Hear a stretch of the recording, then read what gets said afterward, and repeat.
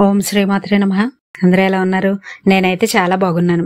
మీరందరూ ఇంకా బాగుండాలని అష్టైశ్వర్యాలతో తొలతోగాలని మనస్ఫూర్తిగా వారాహ్యమ్మను కోరుకుంటున్నాను. ఈ రోజు నేను చక్కటి వీడియోతో మీ ముందుకు వచ్చాను.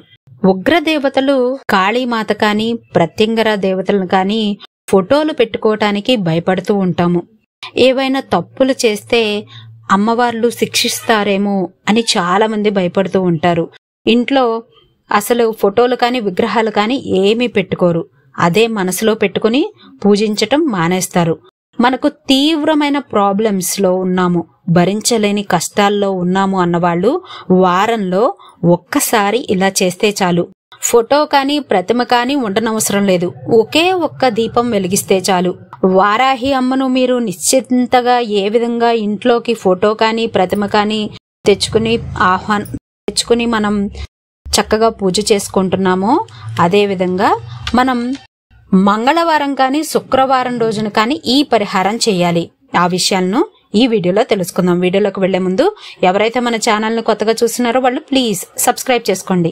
వీడియో కనుక నచ్చినట్లయితే లైక్ చేయండి షేర్ చేయండి కామెంట్ చేయండి. దీపారాధన చేసినప్పుడు అమ్మ దర్శనం కలిగిందక్క అని ఒక సిస్టర్ మనకు పంపారు. మీకు అమ్మ రూపం కనిపించినట్లయితే ఒక చిన్న లైక్ చేయండి. కాళీమాతను తలుచుకుని మీరు మంగళవారం కానీ శుక్రవారం రోజున కానీ ఈ పరిహారం చేయండి. వారంలో ఒక్కసారి చెయ్యాలి.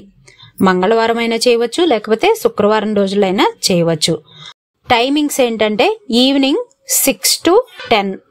Ten o'clock లోపు మీరు ఈ పరిహారం చేస్తే సరిపోతుంది.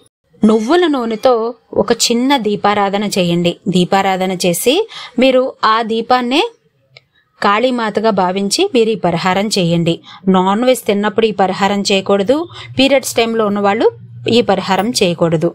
చక్కగా ఈ మంత్రాన్ని నూటెనిమిది సార్లు జపించండి. మీ సమస్యలు మీ కష్టాలన్నీ చెప్పుకోండి.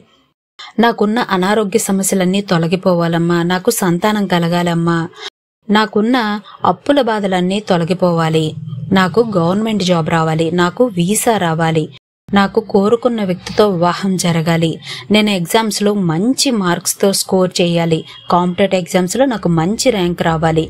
నాకున్న ల్యాండ్ అమ్ముడైపోవాలి. నాకు సొంత ఇంటి కళ నెరవేరాలమ్మా. ఇలా మీ కోరికలు మీ సమస్యలు చెప్పుకోండి.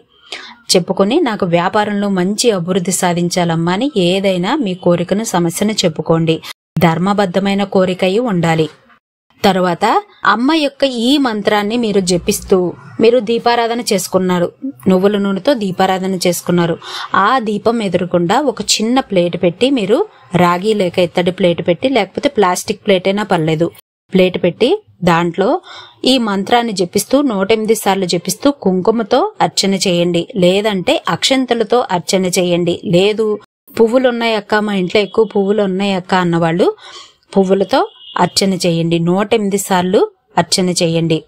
మీ మనసులోని కోరికను సమస్యను అమ్మ పాదాల వద్ద ఉంచి ఈ మంత్రాన్ని జపించండి. ఆ అత్యంత శక్తివంతమైన మంత్రం. ఓం క్రీం కాళికాయై నమః. ఓం క్రీం కాళికాయై నమః. ఓం క్రీం కాళికాయై నమః.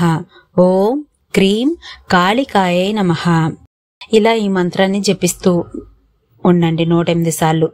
వారంలో ఒక్కసారి చెయ్యండి. నైవేద్యంగా మీ ఇష్టం. ఇంట్లో కాచిన పాలు ఉంటే కాచిన పాలు లేదు అంటే ఏవైనా పళ్ళు ఉంటే పళ్ళైనా బెల్లం ముక్కైనా నైవేద్యంగా పెట్టండి.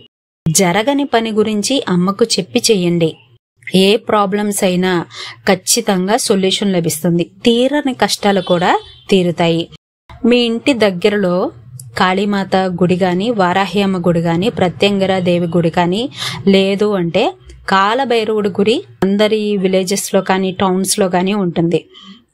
ఆ టెంపుల్కి వెళ్ళి ఫస్ట్ ఎప్పుడైతే స్టార్ట్ చేయాలి అనుకుంటున్నారో ఆ ముందు రోజున లేకపోతే మంగళవారం ఈ రోజు చేయాలనుకుంటున్నారు. ఈ రోజు ఈవినింగ్ స్వామి గుడికి వెళ్ళి మీ సమస్యలన్నీ తొలగిపోవాలి మీ బాధలన్నీ తొలగిపోవాలని శరణు వేడుకోండి. శరణు వేడుకొని సాయంత్రం చక్కగా దీపారాధన చేయండి.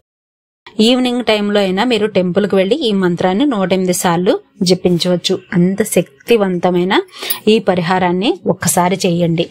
మీకు ఎలాంటి రిజల్ట్ వచ్చిందో నాకు కామెంట్ చేయండి. మీ సమస్యలన్నీ తొలగిపోవాలని మీ కోరికలన్నీ నెరవేరాలని మనస్ఫూర్తిగా వారాహి అమ్మను కోరుకుంటున్నాను.